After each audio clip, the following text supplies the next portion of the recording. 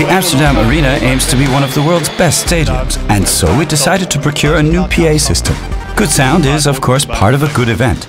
In addition, we'll be participating in the UEFA Euro 2020 Football Championship, so the UEFA and FIFA standards are very important to us. We asked four parties the same question in 2014. What is your view on the sound experience in the Amsterdam Arena? Together with the d&b application support team, we sought the best solution for this stadium. And of course, we also looked at how we can distinguish ourselves from the other providers. And we found that in array processing and an exceptionally low use of power.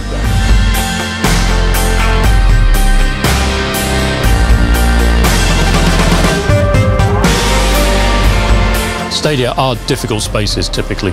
Uh, they're very large volume or have very large volumes and because of that they can affect the speech intelligibility of the system. Uh, array processing helps us overcome that. Uh, we call it democracy for listeners. So it helps us get one step closer to giving everybody the same sound in every seat. The d&b array processing became a milestone in uh, d&b system evolution process. We are driving every loudspeaker element with an individual amplifier channel.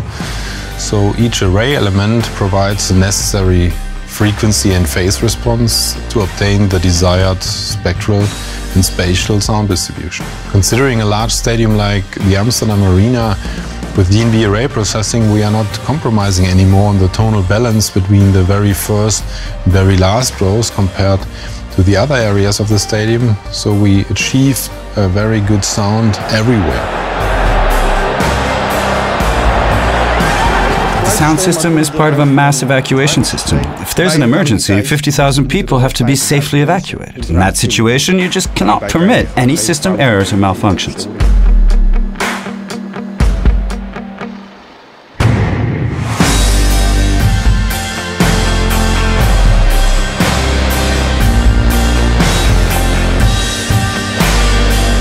Well, when you see it hanging there, then it looks like a simple job.